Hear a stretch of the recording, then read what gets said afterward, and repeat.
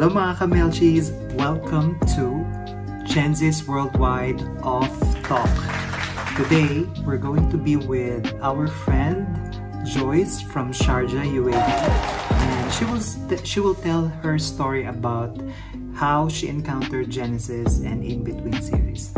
So, join me and let's find out what would be the inspiring things that she learned about Genesis.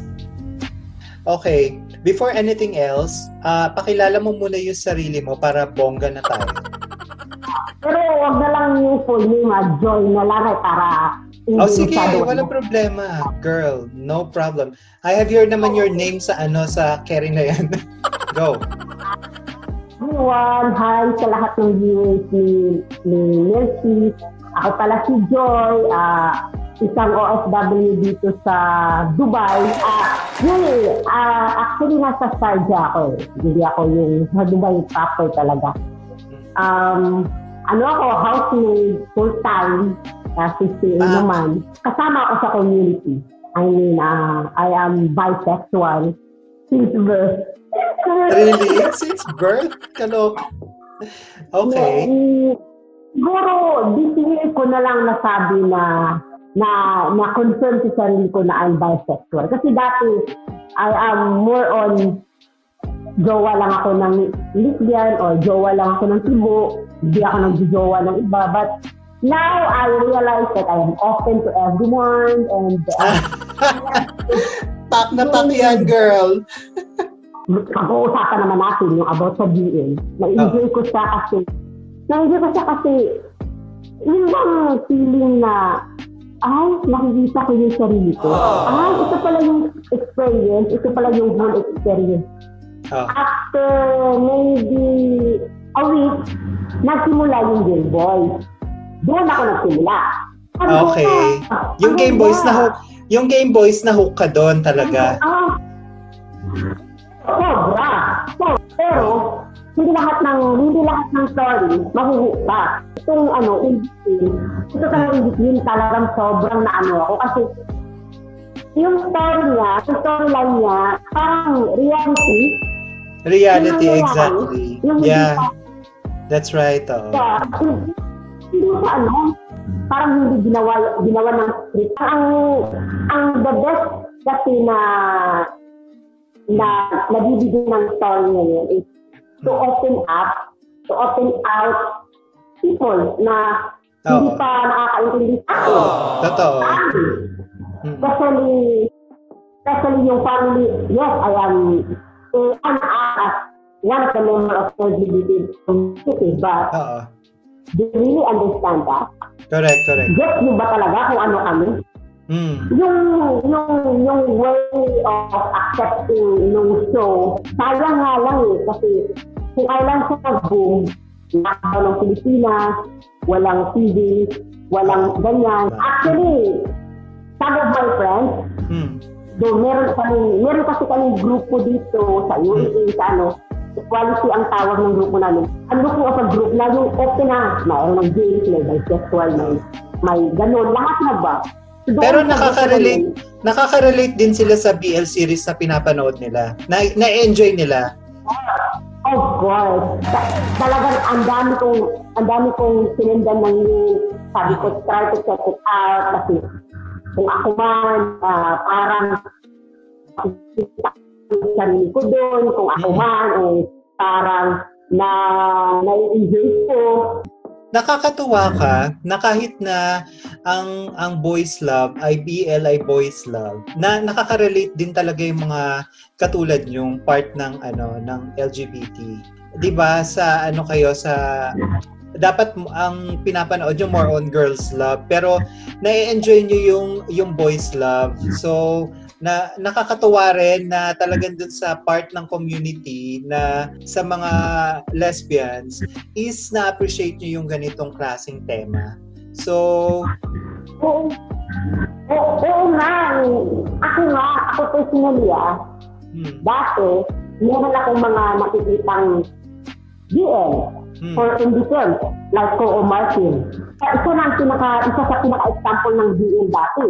Hmm. Now, nung nagsimula akong mag, mag-BL, wow, I imagine myself na yung ang sarap maging patient, ang sarap maging, maging tao. Nakakabata ng, ano. nakakabata ng puso, di ba, manood ng BL. Di ba? yung nakakainis yung dati, Katniel, Liston lang yung kinikilig ka. Uh-oh. Ngayon, testing ka na sa mga lab team na BL, ganyan. Totoo. ang sa akin, yung coming out ni, ni, ni, ni Ted sa, sa family niya, sa mama niya. Oo. Nakarelate ka doon? Nagustuhan mo yung part na yon? Nakakaiyak, no? I cried a lot with that scene talaga. Oo. Yun ang pinakabatik sa akin. Nung wala siyang, wala siyang, wala siyang, yung mama naman niya walang hesitation na, ha? Bakit hindi mo sinabi? Eh, alam ko naman. Ay, ay, tanggap ko naman. Ay, okay lang naman. Ganun, ganun. Sabi ko, wow. Sana lahat ng mga magulang ng sa community natin is ganun. Oh, yan. Okay. So, ano naman, pumunta naman tayo kay Genesis. So, how do you find Genesis and bakit ka naging fan ni Genesis? Hmm. First, nakikita ko na sa mga, yung mga modeling-modeling niya. Pero hindi ko pa siya din sa nakilala. Nakilala ko siya doon sa series. Mm-hmm. And nakita ko yung, in fairness, nung pagganap niya, mm. yung ang tapos, kilala naman siya na straight siya. Uh-oh. Straight na straight. Uh-oh. Pero dito sa show, parang, oh my God. Very natural, right? Ang cute niya. Oh, parang totoo. Nakikita, mula nung napanood ko yung episode nila, inisip ko na sa mga, ano, sa mga social media. Mm. Saka yung mga TikTok na, yung mga, ganun. Nakita ko na, nakita, may nakita ang video na pinadalhan siya ng regalo na super thankful siya, nakapajama pa sa lahat. Tapos, eh, sabi ko sa sarili ko, oh my God, ito ang masarap suportahan na tao kasi yung walang sene, Oo, totoo. Magpapakatuto siya. Tapos, pag sa likod ng camera, lalapitan mo siya, mm. real pa rin siya. Hindi mamalaki yung ulo. Oh. Nagsisimula pa naman siya. Pero, alam mo sa sarili mo na itong mga artist, itong klaseng artista na to, aangat to. Itong tao na to, aangat to, pero yung paano sa hindi pa rin. Kaya sobrang nagustuhan ko siya. Okay. Oo. So, yeah, ito nga. Sobrang, ito.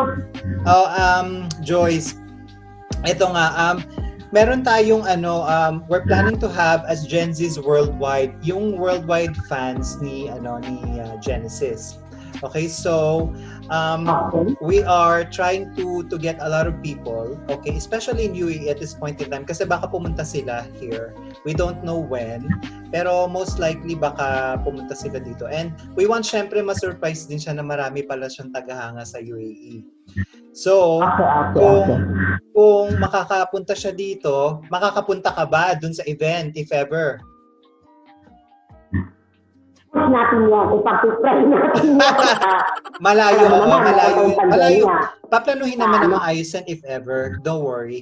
So, ang Genesis uh, worldwide kasi is uh, is like a dedicated ano kasi siya, parang dedicated fan group ni Genesis. Yung mga taga-abroad gaya natin, mga OFWs, tapos uh, sa UAE. Later on magkakaroon tayo ng ano ng siguro ng mga iba pang mga mga kagrupo natin na mga talagang very fanatic with Genesis. Kasi alam mo talagang ano for me no. 'Di ba? For me very worth it yung pag-support natin kay Genesis kasi very humble siya. And then talagang uh, nakaka-relate tayo sa story niya. 'Di ba? So ano, talagang makikilala pa natin siya soon. So ngayon, ano naman ang masasabi mo sa story ng ng uh, ah, BL na ano, na Tao Tep? Si doon tayo kay Tao at saka kay Tep. Ano ang masasabi mo diyan? Ako, sobrang happy ako. Happy From ka? the start, pinaiyak nila ako Aww. nung naghiwalay sila. And then ngayon, um, ang pinaka-nahook ako ngayon sa, sa story nila is yung nagda-doubt pa si ano, si Pep doon sa pag-move, uh, pag-move nila sa condo ni ano. sa condo ni Nakakaloka, oh. Yes, um, sobrang real. Sobrang real. Yung reaction niya nung nagsabi ka na uh, da- dapat ba talaga, ay, madali lang ba, Oo. hindi ganun kadali yun, big decision yun. Sobrang weird kasi dinanas ko eh, yung basta ka na lang nag-decision, tapos saka mo na nang nalaman yung totoong life, pagkasama mo na yung tao. sa Nakarelate ka. Nakarelate ka. Sabi ko sarili ko, oh my God. Totoo ba ko? Sorry ko ako. ka ng lahat, yung, yung bigyan tao ng malayo para makauwi kay Seth. Oo. Yung, yung part na yun na, ang layo kasi ng bahay nun. Kaya nalilate ako tuloy. Kaya ang pagod ko na pag uwi. Pagod na ako sa office. Nagbiyahe pa ako. Ganun, ganun. Sabi ko, ha? Ako ba to? Kaya pala napa-comment ka dun sa ano na parang relate na relate ka girl sa mga nangyayari dun sa sa in-between na yan. Diyos ko, meron ka pala talagang first-hand experience. So ano, nakarelate ka kay Tao. Kay Tao, yes. Oo. More on Tao ako. Mm. Kasi ako, ah, si Tao kasi, si Tao yung, although si Seth, siya yung nag, nag, naglalaban, nag, prepare ng food para Mm. Ano, ako din yun. Ako din yun. But yung side na ako ang nag-work, tapos ako ang bibiyahe para mapuntahan siya. Mm. Yun. Tao ako doon. More effort ka doon, ha? Grabe ka mag-effort ha, para dyan sa ano na yan.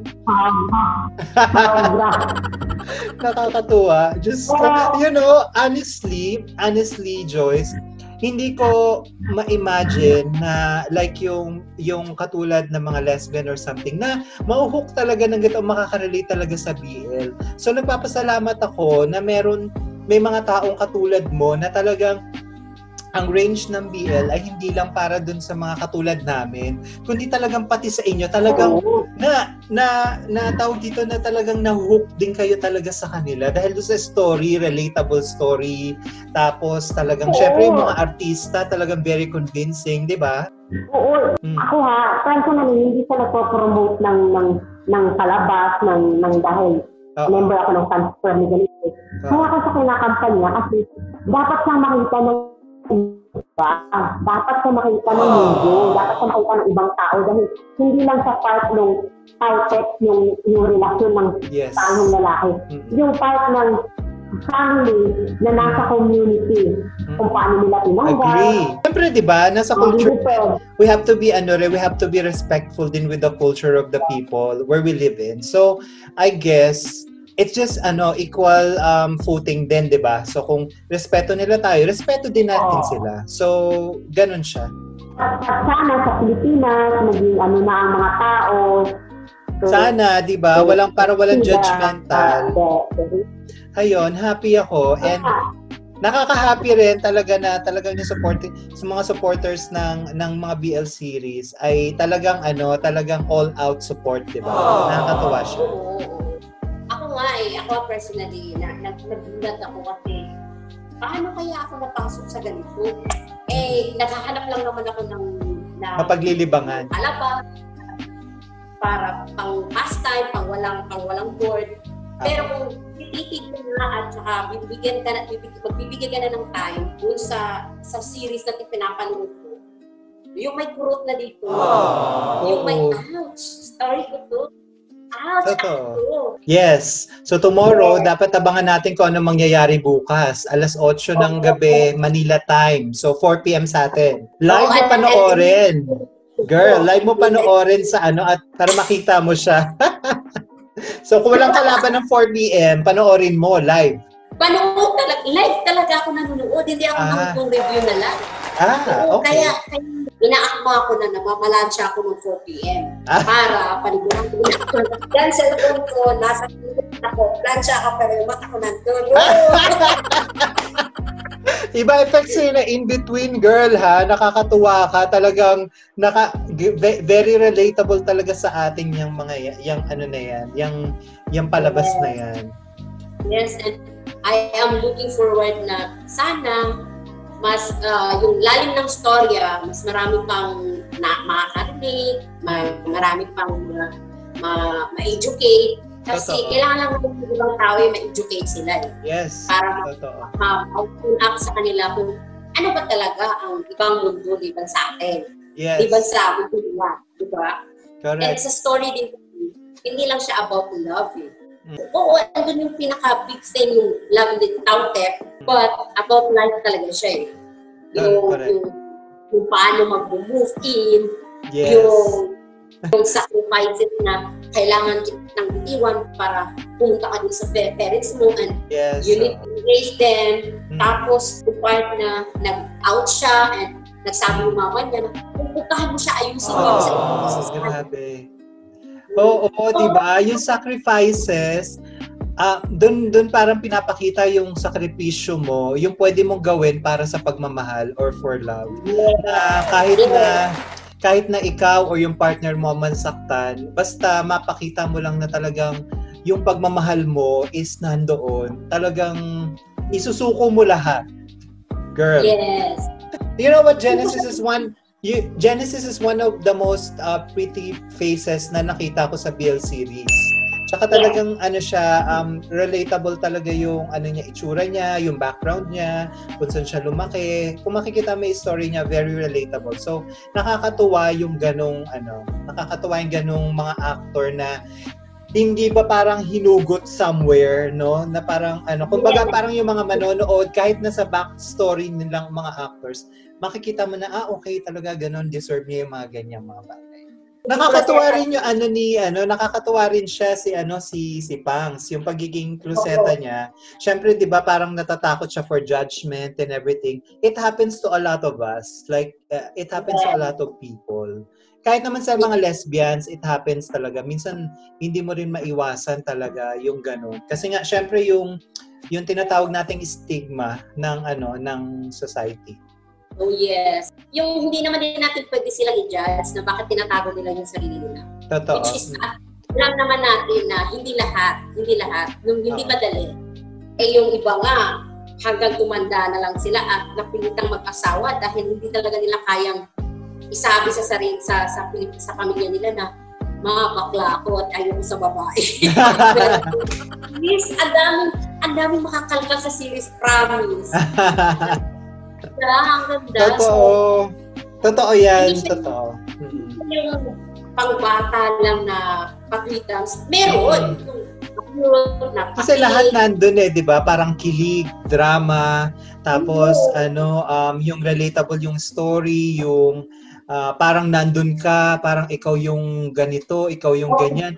Parang nilalagay mo yung sarili mo kasi nga, yung ginawa nilang, ano, yung ginawa nila, lalo na dito sa In-Between, yung ginawa nilang series na, ano, yung mga characters dun sa series, talagang lahat magkakaroon ka ng ano ng hugot. Parang ay, parang ako to, ay, parang ikaw 'yan. So nakakatuwa. Yeah, eh, nakakaaliw talaga. Ewan ko ba, ewan ko ba. Ini-explain ko nga dun sa sa partner ko na na alam mo ba, na bakit ko ano, bakit ko minahal yung storya kasi hindi siya yung ano eh, hindi siya yung pangkaraniwang stories lang na oo, gagawa lang mo ng story, magustuhan niyo mo, hindi, ito lang story. Hindi. Yung ang writer, ang writer ang galing, parang gusto ko siyang makilala. Move on talaga. yung, yung, ah, syempre, number one na siya Genesis, gusto natin siya makilala. Hmm. But, kung ako ang tatanungin mo, liban sa kanya ha, separate natin siya, gusto ko makilala yung writer at saka yung director na ang galing! Totoo ba? Totoo ah, ba kayo? Ganon na. Si Direk, si Direk, uh, brilliant. Siguro, siguro pag in-upload natin tong vlog na to, itatag natin siya dun sa Twitter kasi doon ako sa Twitter na gano. Mas active sila doon. Oo. So, i-ano natin, i-upload natin tong conversation natin para at least makita rin nila na hindi lang hindi lang sa mga katulad namin yung yung appeal nitong uh, series na to, kundi para din sa mga lesbians or sa mga ibang part ng talagang LGBTQ+. So, nakaka-enjoy, nakaka-happy yung ganong ano makikita nila. Thank you so much. Bago tayo maghiwalay, anong message mo kay Genesis? Uh, first, salamat. Salamat sa kanya kasi binigyan niya kami ng mapapanood, binigyan niya kami ng kaya, but more on thank you dahil uh, dahil pinasok niya yung, yung rule na yun and binigyan niya ng justice ang bawat salita na lumalabas sa bunga niya.